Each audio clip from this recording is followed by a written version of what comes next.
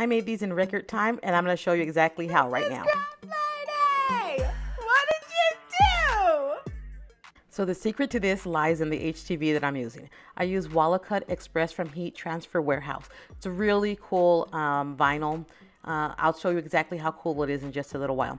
Uh, I do have a link for it in my bio um, and in the description of this video. Just know that anytime you make a purchase using any of my links, I appreciate it because that earns me a small commission. All right, that was my commercial. Let's get back to it. Like I said, this reads very easily. It looks like I'm tugging and pulling, but that's just to get around some of those curves and stuff in this HTV. When you cut your HTV, um, just like most HTVs, you're going to cut this on your craft machine, on your cutting machine, uh, mirrored. So you're going to put it shiny side down uh, the liner side down and you're going to cut it mirrored so that you get the effect that you want. I needed four of these. That's what my client ordered. And so I needed to cut four of them.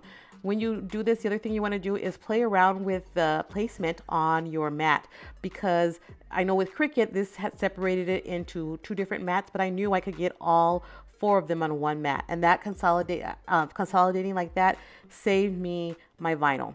Okay, so just go back, make sure you get everything out of the out of the um, the little curves and everything that you need to weed out.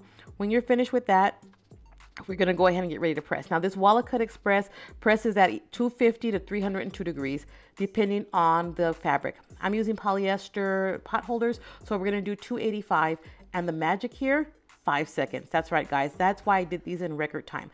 I put in a pressing pillow um, inside the pocket just to elevate it away from some of those side seams. That did help a lot. I always clean everything off first with my lint roller, getting rid of that dust and anything else there. We're to preheat just for a couple of seconds to remove moisture and everything else. And then I'm to place this down. Here we go, five seconds. The countdown's right here. Four, three, two, one. We're to take up my heat press we're gonna peel this. The cool thing about this, it is either hot or cool. Look how easily that liner came off. I'm gonna show it to you now. Everything stayed in place. I always go back with my Teflon sheet, this is just my habit, and do a little press afterward. But these came out great. I put everything back in my cubby so I can know where it is. If you have any questions, drop them in the comments below. Thanks for watching.